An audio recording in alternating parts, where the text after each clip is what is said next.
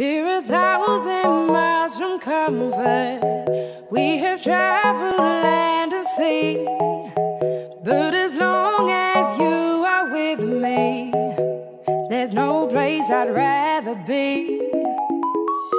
I would away forever. Hey guys!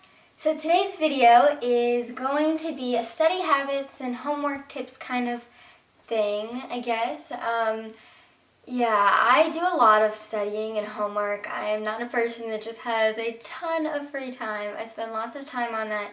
And I'm also a very organized person.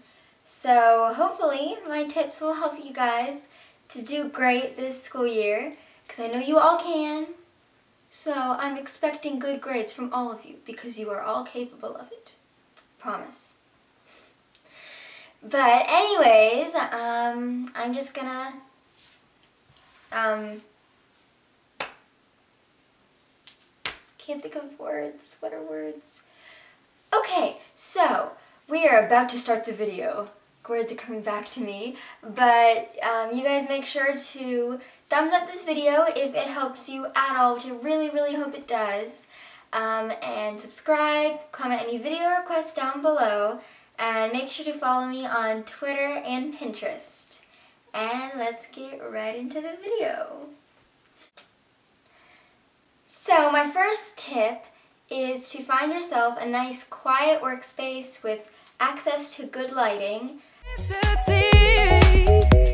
As long as we I keep my desk downstairs in like a general like common sort of area, um, not in my room because I usually get really distracted in my room. I tried working my room in middle school and it just, it didn't work for me at all.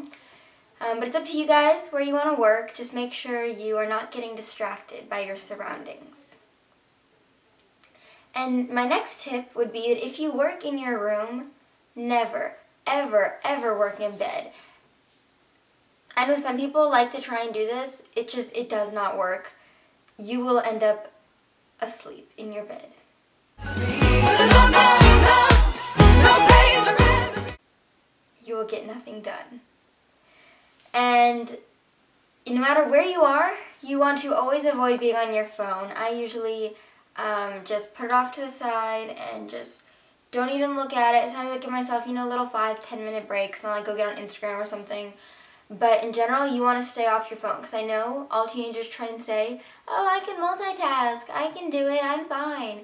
But when you like compare your homework time do, with your like using your phone and homework time not being on your phone at all, you will be so much more productive. I promise. Like I have seen the difference from when I used to try and do homework while on my phone, and it just it it didn't work at all. And my next tip is to always take notes. You want to take notes in class when your teacher is um, giving you guys a little lesson I know some teachers use PowerPoint, some don't, but you want to just write down what's on the board or on the PowerPoint, um, and if possible, what they're saying, because lots of times they say things aren't on the PowerPoint, but that are still important. And um, depending on how your class is, I know like for math, we don't, like he'll get do lessons, my math teacher, but we don't really take notes from the textbook or anything. But for AP World, World History, um, we take so many notes out of textbook. And if you, like, if they suggest you do that, you really should because it's going to help you a lot for the test. I want you by my side so that I'll never feel alone again. And the next thing is, when you do take notes, um, make sure to go back before the test and read them and highlight the important things and even star important concepts. Strong anyway. We need to fetch back the time they have stolen from us.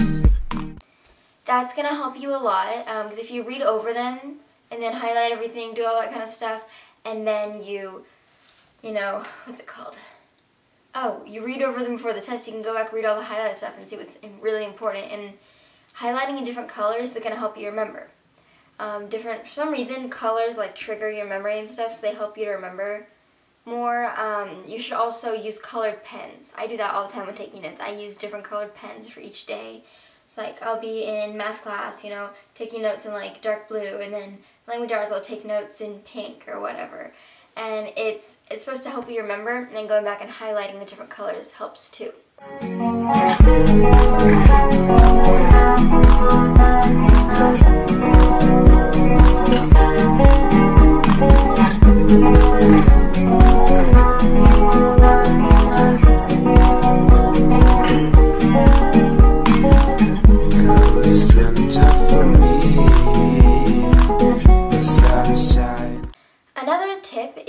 always use your agenda.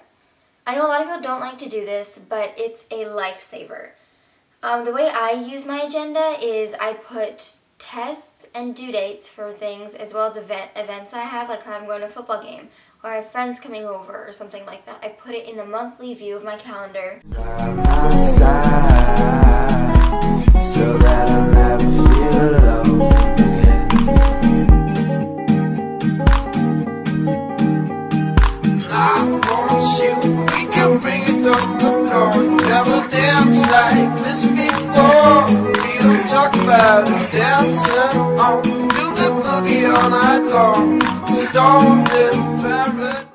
And then on the daily view I write like if I'm going to post a video this day or I need to finish filming by this day or like if I have a test this Friday, I'll plan my test prep the few days before.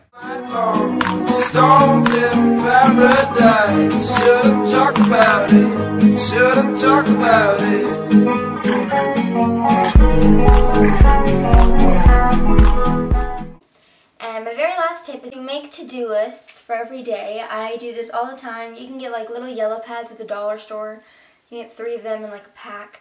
Um, and just look like if you have homework that's due tomorrow, if you have a test this Friday, you know, start planning, oh, you know, I need to take notes on the chapter for the test. I need to finish my worksheet. I need to practice piano. I need to clean my room, do my laundry, just whatever you need to get done that day. Make a list of it throughout the day so by the time you get home, you can review the list and decide what to start with and be ready to get started. It's really helpful. Dancing on, we do the boogie all night long. Stoned in paradise, shouldn't talk about it. And that's all my tips. So I hope this video was helpful to you guys. Let me know if it was. And thank you so much for watching. I'll see you guys in my next video. Bye!